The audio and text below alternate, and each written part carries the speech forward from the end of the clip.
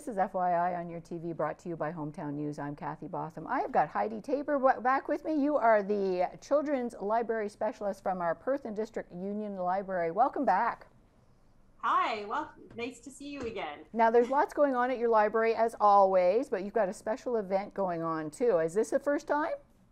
This is actually our third time running this event. It's called Library After Dark. And um, this time we are hosting Canadian singer songwriter Susie Ungerleider, who um, is coming all the way from Vancouver. Yeah, she's from very... Vancouver. Yeah, she's from Vancouver. Yeah. She's coming all the way here. That's awesome. Yeah. Yeah. So, so she, go ahead.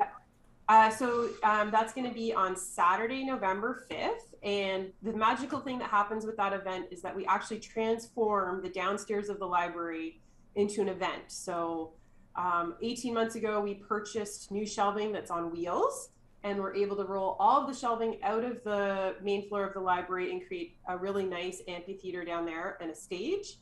And then some some of you might already know this, but we turn our common room into a bar. So there will be um, beer and wine available for sale as well as non-alcoholic beverages. So it's it's a really interesting way to use the library space. Um, and it to me it feels very special because we're using it after hours, you know? So it, it it's really fun.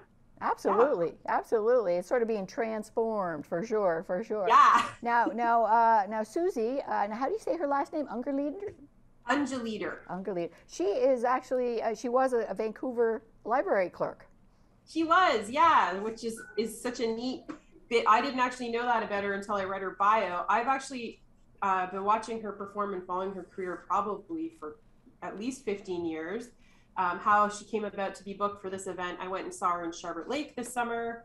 And after the show, I sort of was like, hey, we're running these programs at the library. Would you be interested in coming? And she said yes. So um, in the spring, we hosted Jim Bryson, who is an Ottawa based singer songwriter. And just before the COVID 19 pandemic started, so February 2020, we hosted our very first show with Joey Wright and Jenny Whiteley, who are two um, local musicians here in Perth.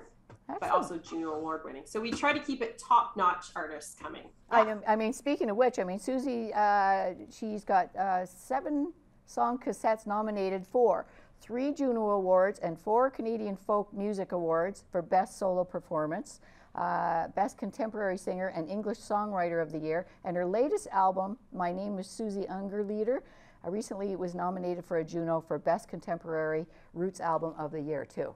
So she's yeah. well known across Canada. She's getting Juno yeah. nominations. Definitely. And her stage presence is amazing. She is a great storyteller in between songs. So it's a, definitely a show if you're a live music lover, something to come and check out for sure. All right. So, can you tell us uh, again when the times are, how to get tickets? So, the tickets are available right on the homepage of our website. It's one of the first things you see. So, that's www.perthunionlibrary.ca. Um, if uh, websites and internet are not your thing, I totally understand. you can give our front desk staff a call to uh, 613 267 1224, and they're more than happy, happy to help you. Um, or you can just come on into the library and we'll um, we'll get you all set up.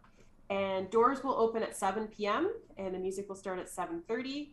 And yeah, uh, it's a cash bar or, or tap, so we have Interac available as well. And it's going to be very fun.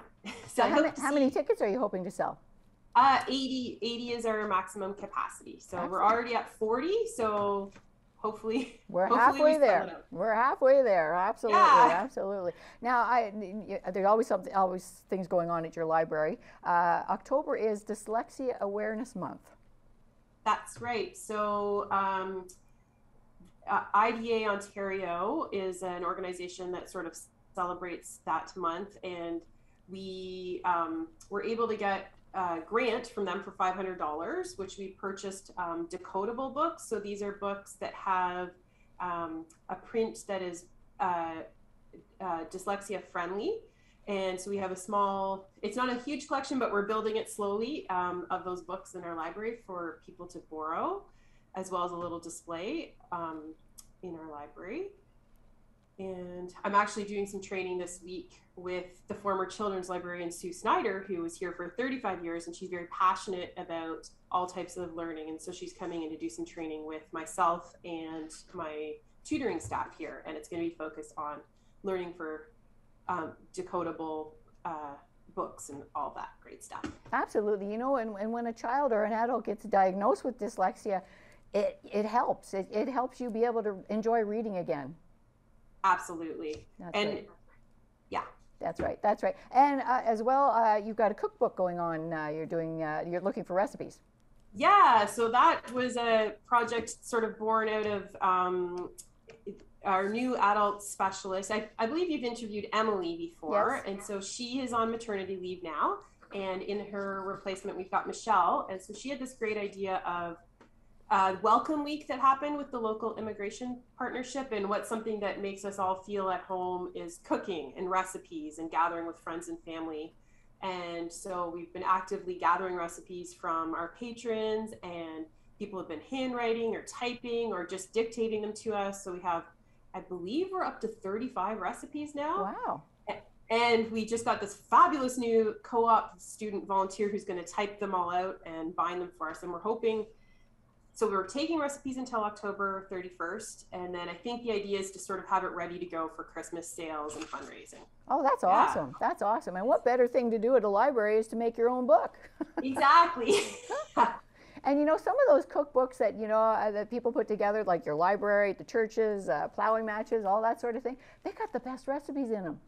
They do, and Yeah. it's so neat to talk to people about their stories behind the recipes, you know, and and just really engage with. It's been a fun project for sure. Absolutely. And some of our favorite recipes are my grandmother's favorite recipes too. So Mm. we're carrying it on, putting it in a book. So I think that's a great legacy for people too.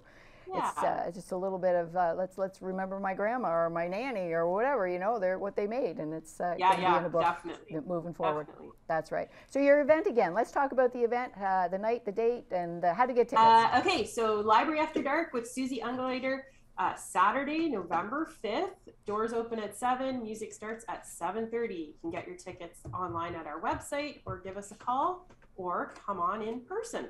Excellent, excellent. You're halfway there. There's only a few, 40 tickets left, so get in there and get your ticket. That's right. Well, That's right. joining us again, Heidi Taber from the Perth and District Union Library. Thank you for joining us again and putting on a great event. Yeah, thanks for having me.